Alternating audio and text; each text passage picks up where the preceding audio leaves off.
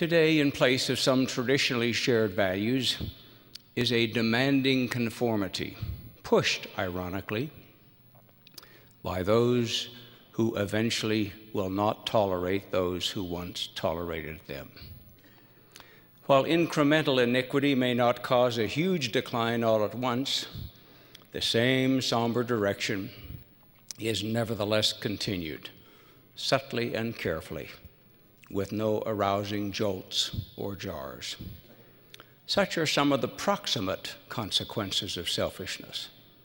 Yet some of its consequences are ultimate, impacting us salvationally. Selfishness is actually the detonator of all the cardinal sins.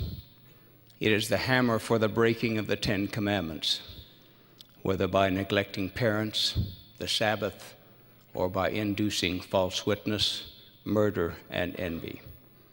No wonder the selfish individual is often willing to break a covenant in order to fix an appetite.